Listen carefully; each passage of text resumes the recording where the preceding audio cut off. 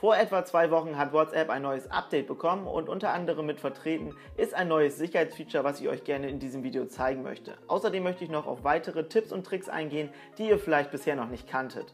Wenn ihr diesen Kanal aktuell noch nicht abonniert habt, dann holt das auf jeden Fall nach, um keine weiteren ähnlichen Videos zu verpassen. Ich würde jetzt aber sagen, wir beginnen direkt nach dem Intro mit dem Video. Ich wünsche euch jetzt viel Spaß.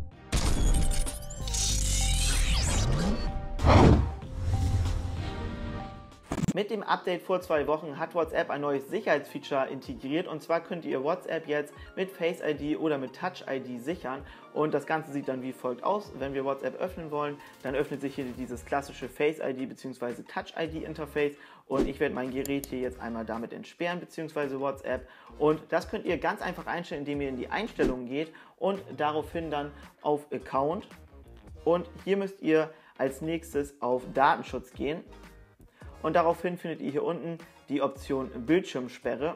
Dort klickt ihr rauf und hier habt ihr jetzt die Möglichkeit, das Ganze zu aktivieren. Also hier auf Face ID erforderlich anklicken und dann könnt ihr hier auch noch eine zeitliche Begrenzung einfügen. Das heißt, ähm, dass zum Beispiel Face ID erst nach einer Minute wieder aktiv sein soll, nach einer Stunde oder wie in meinem Fall jetzt hier sofort.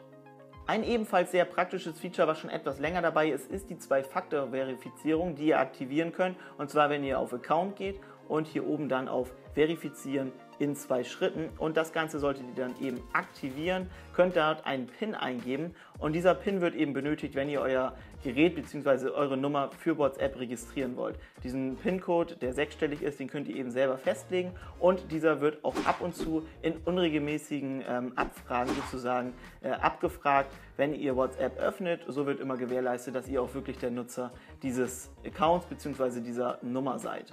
In einem Gruppenchat ist es möglich, direkt mehrere Nutzer des Chats anzurufen und zwar über dieses Symbol hier oben. Dort könnt ihr einfach raufklicken und daraufhin öffnet sich ein Menü und da könnt ihr dann ganz einfach die Kontakte auswählen, die ihr anrufen möchtet und das funktioniert dann per Sprachanruf oder auch per Videoanruf könnt ihr hier dann direkt mit mehreren Nutzern, ähnlich wie das auch mit Group FaceTime möglich ist, interagieren. Wie gesagt, entweder über normalen Sprachanruf oder auch mit einem Videoanruf.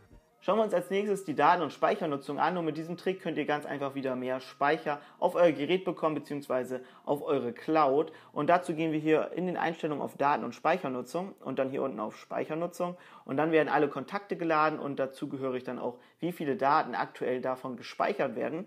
Dann klickt ihr auf den Kontakt drauf und seht dann nach einem kurzen Zeitpunkt auch, wie viele Textnachrichten ihr versendet habt, wie viele Fotos gespeichert werden und dementsprechend auch, wie viel Megabyte in diesem Fall hier jetzt gespeichert wurden. Und wenn ihr unten auf Verwalten klickt, dann habt ihr die Möglichkeit, hier die einzelnen Bereiche auszuwählen und könnt dann eben diese leeren und so wieder speicherfrei bekommen. Gehen wir als nächstes erneut in Daten- und Speichernutzung und hier jetzt auf Netzwerknutzung und dort können wir alle möglichen Statistiken sehen, wie viele Nachrichten wir gesendet haben, wie viele wir empfangen haben, wie viele Bytes gesendet und empfangen wurden. Das Ganze auch für die einzelnen Medien hier ähm, empfangen und gesendet und dann haben wir hier eben einen kompletten Aufbau, eine komplette Statistik sozusagen, ähm, wie viele Tele Minuten wir telefoniert haben und so weiter. Und wir können die Statistiken eben auch zurücksetzen, wenn wir das Ganze zum Beispiel immer für einen Monat im Überblick haben wollen, wie viel wir dann im Endeffekt verbraucht haben. Wenn ihr nicht allzu viel Datenvolumen zur Verfügung habt, dann könnt ihr unter Daten- und Speichernutzung ganz einfach den Punkt reduzierter Datenverbrauch aktivieren. Dann werden nämlich WhatsApp-Anrufe ähm, ein bisschen komprimiert und dementsprechend wird weniger Datenvolumen verbraucht, wenn ihr eben im mobilen Netz, sprich unterwegs, mit LTE oder 3G telefoniert. Und das ist auf jeden Fall eine coole Sache, dass das so einfach über einen einfachen Button möglich ist.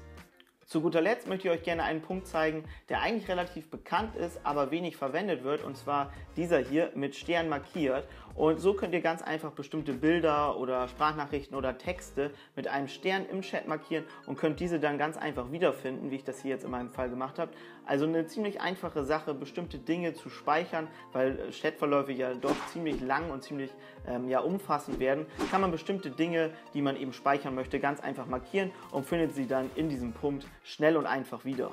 Das waren dann aber auch schon wieder die WhatsApp-Tricks, die ich euch zeigen wollte. Wie gesagt, ein paar sind mit neuen Updates dazugekommen, einige sind schon ein bisschen länger dabei, aber trotzdem sehr praktisch und zum Teil werden sie eben auch selten verwendet, weil man einfach nicht weiß, dass sie vorhanden sind. Ich hoffe natürlich, dass für euch irgendwie etwas Neues dabei war. Würde mich sehr freuen. Könnt ihr mir auch gerne unten in die Kommentare schreiben. Lasst auf jeden Fall einen Daumen nach oben da und abonniert den Kanal, wenn ihr das noch nicht getan habt. Aktiviert die Glocke und wir sehen uns dann im nächsten Video wieder. Bis dahin, macht es gut.